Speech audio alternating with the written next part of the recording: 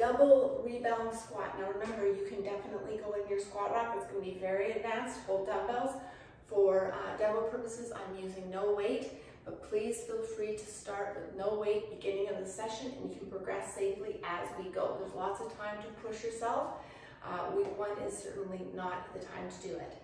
So holding the weight, the dumbbells in your hand or putting the squat rack behind your neck, you're coming down slow, hold, jump up twice, up fast, slow, whatever you're comfortable with. Again, down slow. I want this pause here. Jump up, down, jump up, down. And power again. Hold.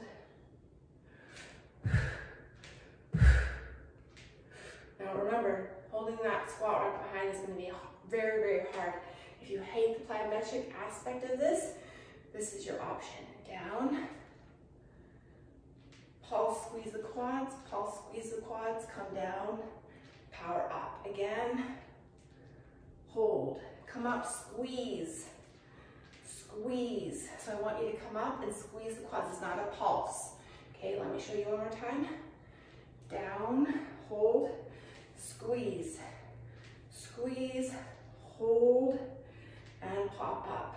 Again, hold, squeeze, squeeze.